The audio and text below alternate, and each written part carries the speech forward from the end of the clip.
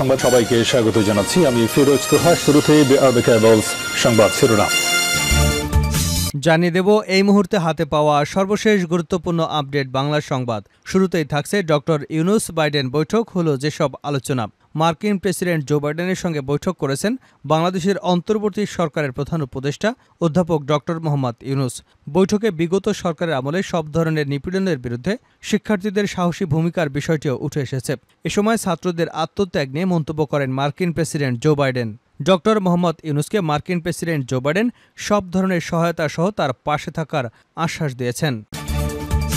এবারে জানাব, প্রশাসনে আওয়ামী প্রেতাত্মারা সুরাচার পুনর্বাসনে ষড়যন্ত্র করছে।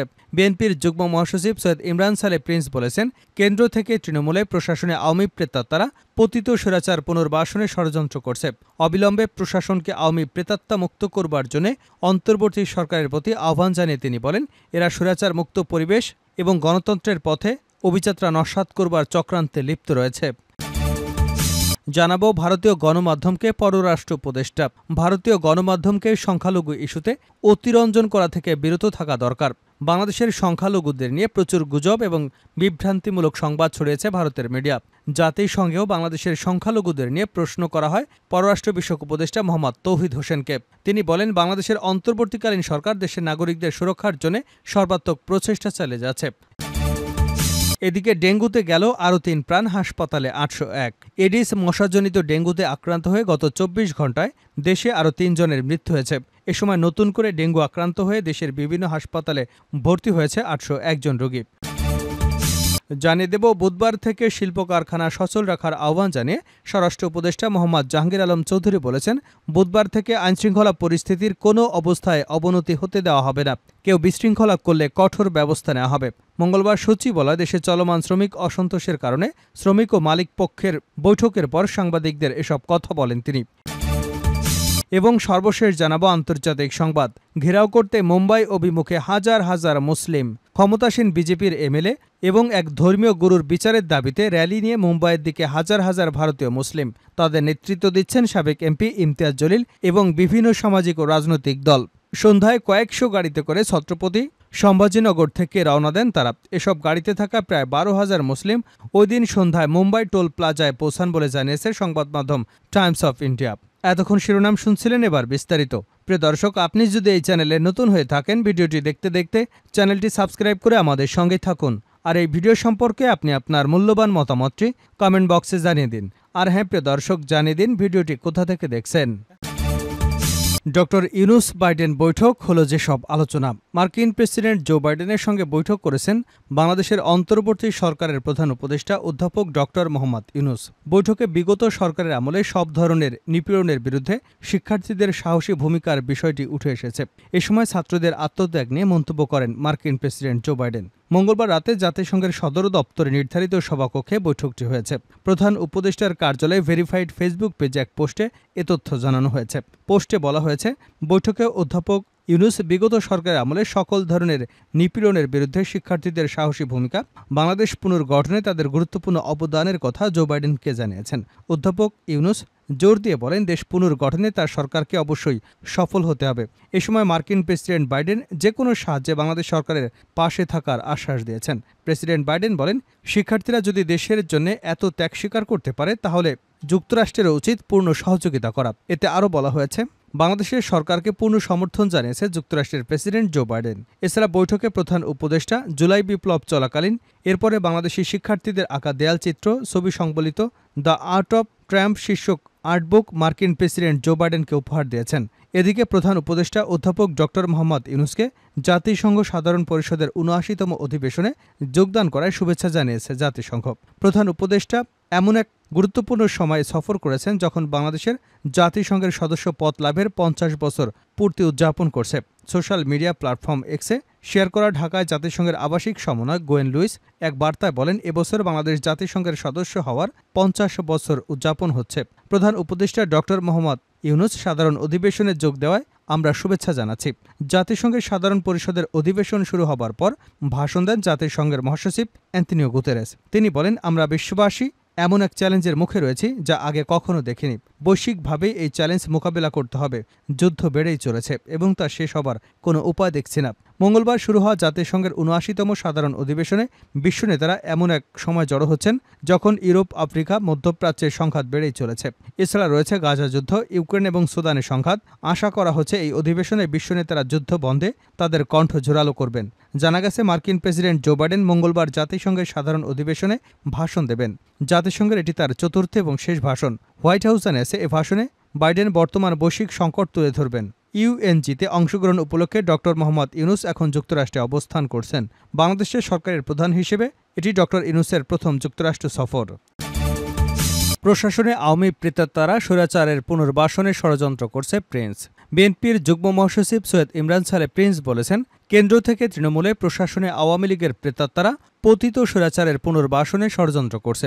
অবিলম্বে প্রশাসনকে আওয়ামী প্রেতাত্মা মুক্ত করবার জন্য অন্তর্বর্তী সরকারের প্রতি আহ্বান জানিয়ে তিনি বলেন, এরা স্বৈরাচার মুক্ত পরিবেশ এবং গণতন্ত্রের পথে অভিযাত্রা নস্বাত করবার ষড়যন্ত্রে লিপ্ত রয়েছে। মঙ্গলবার সন্ধ্যায় ময়মনসিংহের হালুয়াঘাটে নেতাকর্মীদের সঙ্গে মত বিনিময়কালে এসব কথা বলেন তিনি। নেতাকর্মীদের প্রতি আওয়ামী প্রেতাদাদের ষড়যন্ত্র সম্পর্কে সতর্ক থাকার আহ্বান জানিয়ে ইমরান সালে প্রিন্স আরও বলেন, হাজার হাজার ছাত্র জনতার রক্তের সঙ্গে যারা বেইমানি করবে, তাদের প্রতিরোধ করতে হবে। প্রশাসন আওয়ামী মুক্ত করতে ধীরগতির সমালোচনা করে তিনি বলেন, আওয়ামী লীগের আমলে প্রশাসন চরমভাবে আওয়ামী করা হয়েছে। তাদের বহাল রেখে ছাত্র গণবিপ্লবের আকাঙ্ক্ষা বাস্তবায়ন করা যাবে না, বরং এরা পদে পদে বাধা সৃষ্টি করেছে। তিনি অবিলম্বে প্রশাসনে আওয়ামী লীগের আমলে নিয়োগকৃত অপসারণের দাবি জানিয়েছেন। প্রিন্স বলেন, এরা আওয়ামী স্বৈরাচারের বেনিফিশিয়ারি, ছাত্র গণহত্যাকারীর সহযোগী, এদের বহাল থাকলে অন্তর্বর্তীকালীন সরকার ব্যর্থ হতে বাধ্য। এই সরকার ছাত্র জনতার রক্তের বিনিময়ে প্রতিষ্ঠিত। এই সরকারকে ব্যর্থ হতে দেওয়া যাবে না। ভারতীয় গণমাধ্যমকে সংখ্যালঘু ইস্যুতে অতিরঞ্জন করা থেকে বিরত থাকা দরকার। বাংলাদেশের সংখ্যালঘু নিয়ে প্রচুর গুজব, বিভ্রান্তিমূলক সংবাদ ছড়িয়েছে ভারতের মিডিয়া। জাতিসংঘেও বাংলাদেশের সংখ্যালঘুদের নিয়ে প্রশ্ন করা হয় পররাষ্ট্র বিষয়ক উপদেষ্টা মোহাম্মদ তৌহিদ হোসেনকে। তিনি বলেন, বাংলাদেশের অন্তর্বর্তীকালীন সরকার দেশের নাগরিকদের সুরক্ষার জন্য সর্বাত্মক প্রচেষ্টা চালিয়ে যাচ্ছে, আর বাংলাদেশের হিন্দুরা দেশের নাগরিক। দেশের সংখ্যালঘু হিন্দু সম্প্রদায়ের উপর হামলার বিষয়ে ভারতীয় গণমাধ্যমের প্রশ্নের জবাবে মঙ্গলবার নিউ ইয়র্কে এমন মন্তব্য করেছেন তিনি। ভারতীয় বার্তা সংস্থা এএনআই এর এক প্রতিবেদনে এ তথ্য জানানো হয়েছে। এতে বলা হয়েছে, বাংলাদেশের সংখ্যালঘু হিন্দুদের উপর হামলার ঘটনায় ডক্টর মোহাম্মদ ইউনুসের নেতৃত্বাধীন অন্তর্বর্তী সরকার কী ধরনের পদক্ষেপ নিয়েছে? সাংবাদিকদের এমন এক প্রশ্নের জবাবে তৌহিদ হোসেন বলেন যে কোনো সহিংসতাকে হিন্দুদের বিরুদ্ধে সহিংসতা হিসেবে দেখানো হচ্ছে। এটা ঠিক নয়। তিনি বলেন, আমি মনে করি ভারতীয় গণমাধ্যমকে এই ইস্যুতে অতিরঞ্জন করা থেকে বিরত থাকা দরকার। আমরা আমাদের নাগরিকদের সুরক্ষার জন্য সম্ভাব্য সবকিছু করেছি এবং বাংলাদেশের হিন্দুরা আমাদের নাগরিক, আমরা তাদের দেখভাল করছি। ছাত্র জনতার ব্যাপক আন্দোলনের মুখে গত পাঁচই অগাস্ট প্রধানমন্ত্রীর পদ থেকে পদত্যাগ করে ভারতে পালিয়ে যান শেখ হাসিনা। এর তিন দিন পর ডক্টর মোহাম্মদ ইউনুসের নেতৃত্বাধীন অন্তর্বর্তীকালীন সরকার শপথ গ্রহণ করে। শেখ হাসিনার পতনের পর দেশের বিভিন্ন প্রান্তে বেশ কিছু সহিংসতার ঘটনা ঘটেছে। এ সময় কিছু এলাকায় হিন্দু বাড়িঘরেও হামলা করা হয়েছে বলে অভিযোগ ওঠে। ডেঙ্গুতে গেল আরও তিন প্রাণ হাসপাতালে আটশো এক। এডিস মশাজনিত ডেঙ্গুতে আক্রান্ত হয়ে গত চব্বিশ ঘন্টায় দেশে আরও তিনজনের মৃত্যু হয়েছে। এ সময় নতুন করে ডেঙ্গু আক্রান্ত হয়ে দেশের বিভিন্ন হাসপাতালে ভর্তি হয়েছেন আটশো একজন রোগী। মঙ্গলবার স্বাস্থ্য অধিদপ্তর থেকে পাঠানো এক প্রেস বিজ্ঞপ্তিতে এ তথ্য জানানো হয়েছে। সোমবার সকাল আটটা থেকে পরবর্তী চব্বিশ ঘণ্টার তথ্য এটি। স্বাস্থ্য অধিদপ্তরের তথ্য অনুযায়ী নতুন করে মৃত তিনজনই ঢাকার বাসিন্দা। এ নিয়ে চলতি বছরে একশো ছত্রিশ জনের মৃত্যু হয়েছে। চলতি বছরে এখন পর্যন্ত ডেঙ্গু আক্রান্ত রোগীর সংখ্যা পঁচিশ হাজার সাতশত একজন। শেষ করছে আন্তর্জাতিক সংবাদ দিয়ে। ঘেরাও করতে মুম্বাই অভিমুখে হাজার হাজার মুসলিম জনতা। ক্ষমতাসীন বিজেপির এমএলএ এবং এক ধর্মীয় গরুর বিচারের দাবিতে র্যালি নিয়ে মুম্বাইয়ে হাজার হাজার ভারতীয় মুসলিম। তাদের নেতৃত্ব দিচ্ছেন সাবেক এমপি ইমতিয়াজ জলিল এবং বিভিন্ন সামাজিক ও রাজনৈতিক দল।